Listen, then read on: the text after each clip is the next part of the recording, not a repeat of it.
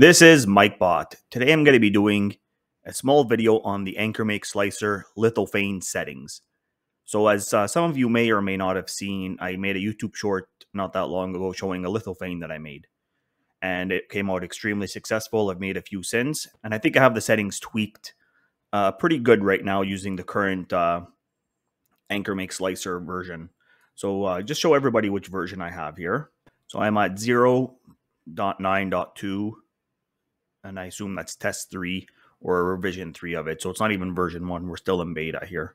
All right. So first thing you want to do with your lithophane print is you need to find a photo that you want to turn into a lithophane. So you find a photo and then you got to go to a site called lithophanemaker.com. This site I've been using for a while. I am not sponsored by them. I am not affiliated in any way, shape, or form. It's just a really, really great site. As a matter of fact, I recommend uh, you join their YouTube group or subscribe to their YouTube channel as well, just to support them and donate if you're able to do so. Uh, but anyway, the Lithophane Maker website's pretty incredible. So here it is. You can make lamps. They're working on the heart one still. This one's not perfect. I tried one already. It's okay. Then you have the light box maker, the night light, the globe maker. I've made a globe, which was really nice actually as well as the flat lithophane maker. It's also, oh, this is, I haven't noticed these. So we got a ceiling fan one here, curved lithophanes, color lithophane maker. That's pretty neat. And then circular. This would probably be good for coasters or something. Oh, and then there's a Christmas tree one, but as you can clearly see in the photo, it looks okay. So the one that I made and that was on my uh, YouTube channel was the flat one. So I believe I went with the uh, hook tab version. It's not showing the little tab here, but there was a tab on mine, as you probably saw in my uh, in my uh, YouTube short. So next, what you want to do is you want to find the photo you're looking for. I don't have a photo uh, in mind right now, so I'll just run through it briefly. So you click browse, you find your photo, the photo shows up here, and then you just want to set your uh, width, your height, the depth you want this. So I think I went with the defaults for the most part. I just made sure the photo fit, so I cropped it. Um, then basically you can go through the defaults if you like, uh, or whatever you like. So it, it, it, it's up to you to mess around with this. I'm not doing a video on the lithophane maker. I'm just showing you how to get started. So make your lithophane maker, whether you use this site or another site or use Creality or whatever. Uh, to proceed with this one, you need to put your email in. Uh, then click create and it'll download. Then once it's downloaded, you open up the zip file and you throw the STL into here. So once you've thrown the STL into here, this is where the settings comes in. So I'm just going to go ahead and open my STL file from the site. And this is the same one I used on the YouTube short. As you can see, it has the tab here. It's basically just me wearing the uh, Mario Galaxy, not Galaxy. I can't think of it right now. I'm going to get attacked in the comments for this. Uh, the Mario hat from the Nintendo Switch Mario game, which I can't remember the name of right now. So anyway, there it is. That's what it'll look like. So first thing we want to do, uh, you want to click PLA Plus, Expert Mode Settings.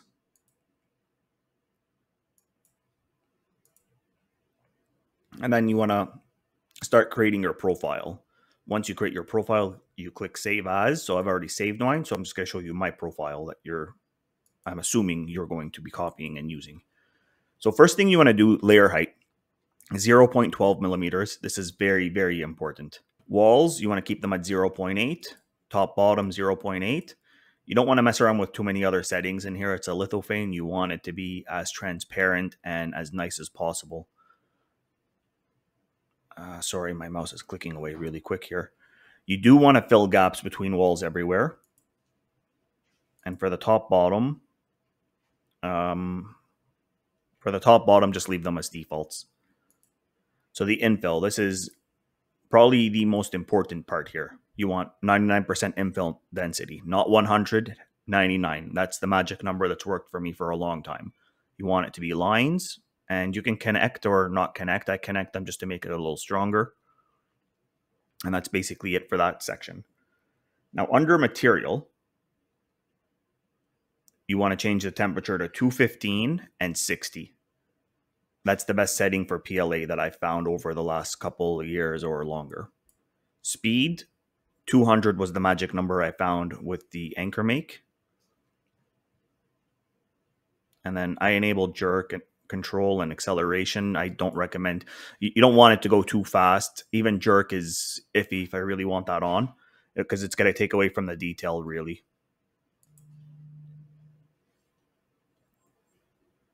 So I'd say leave acceleration and jerk controls off.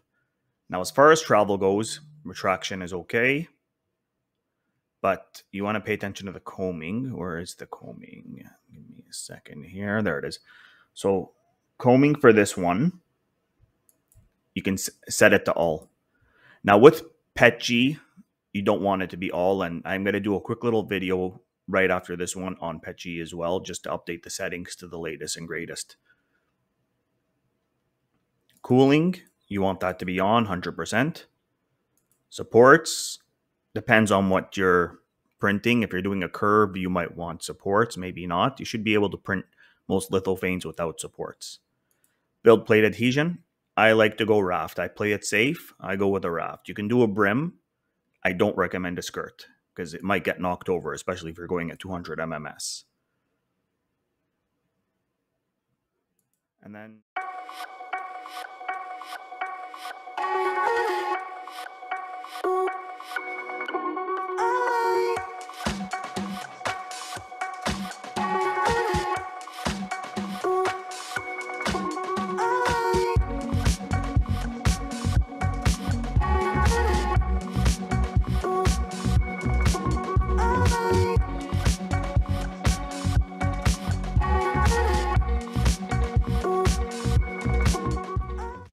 And then other than that, that's basically all you need for lithophane. So I'm going to list the settings uh, right at the end here. And then uh, I'm going to proceed with PETG next. If you have any questions or comments about the lithophanes, leave them in the comments and I will get back to you as soon as I can. Now for PETG. So since Anker updated their slicer, I lost all my settings. So I'm just going to go ahead and create one from scratch right now then. Um, because I was asked in a previous comment if I could redo the PETG settings. So I'm just going to go ahead and do that right now. Now for PETG, I'm not going to be doing a lithophane, so I'm just going to delete that. I will open, uh, let's go with the 6 to 4 reducer that I printed the other day. Had a hell of a time printing this with PLA. Um, I don't know what its problem was. But anyway, so, okay, so I'm going to go through the PETG settings now. So as far as Anker Make FDM settings, I don't mess with those too much yet. I'll make a video in the future when I'm ready to uh, mess around with those settings, but not yet. The software is still beta. I don't trust it. Layer height, I go 0.3 when it's a functional print because I don't really care about quality or details.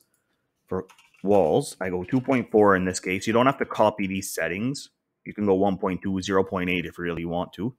But uh, if I'm using PETG, I'm usually printing something important and I want it to last. So I go 2.4 and I alternate extra walls and I also ensure gaps are filled and everywhere between the walls. If you want to hide your Z alignment, I would probably go sharpest corner or smart hiding.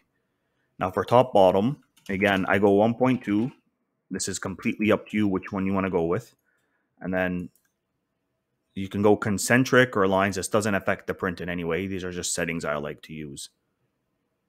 I don't do ironing for prints like this. Don't care about it looking pretty. I'll just close these here just to keep the screen clean. Infill, 20% is usually pretty good, especially for a print like this. If you have a print that needs more structure, more quality, and the walls isn't enough, usually walls is strength. Infill it helps a little bit, but the walls is where you really want it. So for me, 20 is good, and I go triangles if I want it to be really nice and solid. Connect them, fill lines.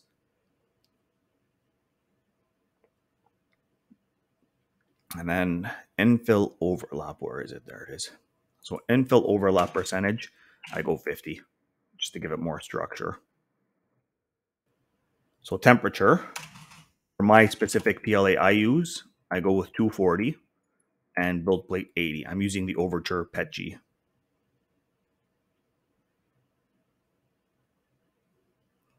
Speed, unfortunately, I can't get nice prints any faster than 100.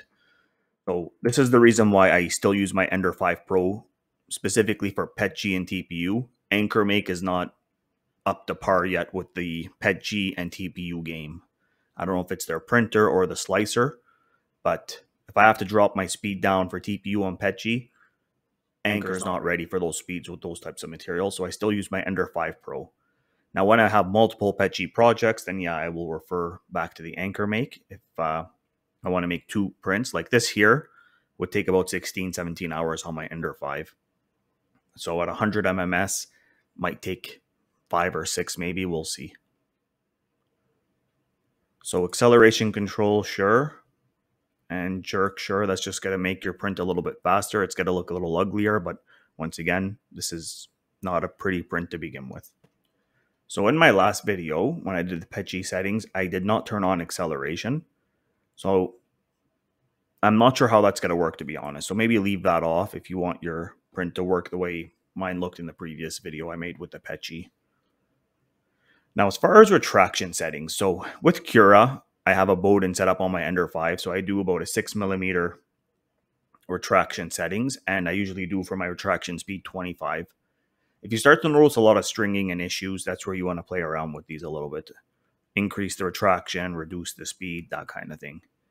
There's also uh, a couple other neat features on Cura that I haven't seen here yet, which are very important for PETG from what I've seen, and that's coasting. So you want to turn coasting on and coasting volume to 0.064, if I remember correctly.